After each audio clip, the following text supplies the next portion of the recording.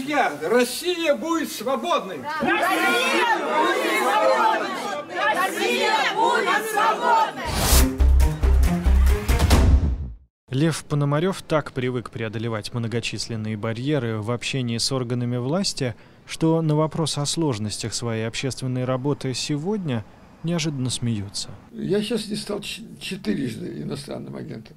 В свой 80-й день рождения правозащитник получил, среди прочего, поздравление в виде надписи краской на дверях офиса и квартиры логово защитника террористов. Речь, скорее всего, идет о запрещенных в России организациях Хизбут Тахрир и свидетелях Иеговы, которых Пономарев лично считать террористами не спешит. Перед моим юбилеем было написано логово защитника террориста крупной красной краской.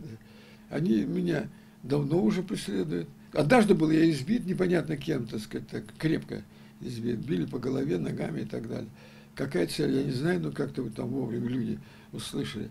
Это что, помещение общественное? Лев Александрович, расскажите мне, пожалуйста, почему вы устроили протестное... Вам придется с этим смириться. А вы не перебивайте вы... меня. Пожалуйста. Секундочку, не надо, получается. Ну получается, как? Вот у меня три организации, юридические лица.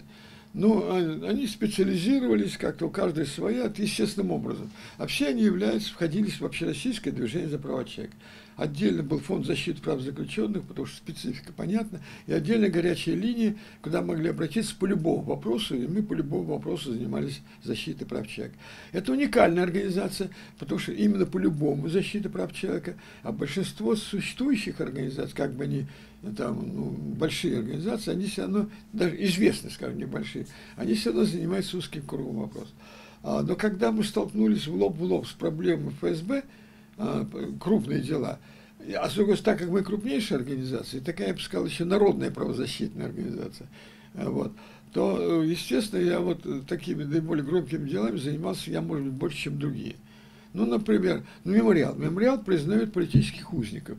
А, но вот так, чтобы к ним пришли с улицы и э, родственники сказали, вот давайте им заниматься, а что нам делать, помоги нам. Ну и Хизбут Тахрир, вот мусульманская мирная организация, тем не менее их сажают на 24 года. Хотя да, нигде не, даже не обвиняются в терроризме, им дают 24 года. Да, свидетели Иеговы. Чекисты они э, тренируются на маргинальных группах, как это было в Германии, да, а потом уже наваливаются, уже наработав опыт, а, значит, наваливаются на основные группы населения. Его имя стало первым в списке Минюста именем физического лица иностранного агента. Судя по всему, в и без того непростой деятельности Пономарева это обновление статуса уже не играет большой роли – но чувство вызывает тяжелое.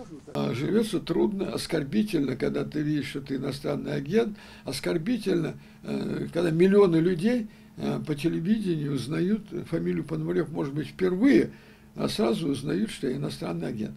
Но сама власть вынуждена потом объяснять, а вот почему у нас, значит, она занимается враждебной деятельностью, а какой? А вот здесь они сказать практически ничего не могут. И вот они будут дальше говорить еще клеветать и придумывать, и какие-нибудь мне подсовывать провокаторов там и так далее, там, уничтожать, одним словом. Постоянное обновление списка иностранных агентов привело к ощутимой волне иммиграции общественных деятелей, юристов, журналистов. Лев Пономарев с пониманием относится к тем, кто решил уехать, но для себя такой перспективы не видит. Мне слишком много лет, чтобы куда-то уезжать. Более того, на мне ответственность, организация, и мы что-то делаем. Понимаете, пока я что-то могу делать в стране, и когда э, вот прямо завтра за тобой придут, я могу понять. Ну вот, например, Павлов выехал, адвокат Павлов. Э, уголовное дело возбуждено, ему как бы намекнули, либо ешь, либо уголовка. Да, это я понимаю. Цель моей сейчас э, того, что я остаюсь здесь, и жизни моей уже мирное, демократическое преобразование политического строя. Я, может быть, это, конечно, не, не быстро делается, но я на это работаю. Вот все, что я делаю, работает на это. Я не вправе их осуждать как он, потому что я не знаю причин. Вот, э, Быкову сказали, он понял, вот один раз его травили, да, второй раз он станции его травят. Э, но все равно у людей, а тем более, когда они долго живут э, в эмиграции, у них меняется уже. Надо что-то делать, надо влиять.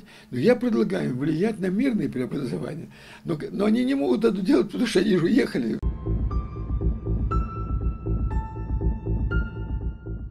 Ну, большая честь, что меня первого сделали. Но теперь я вижу, что я очень большой компании очень достойных людей. Будем наблюдать, как говорится. И я в каком-то смысле делаю на себе эксперименты. И похоже, что следить за его результатами правозащитник намерен до конца.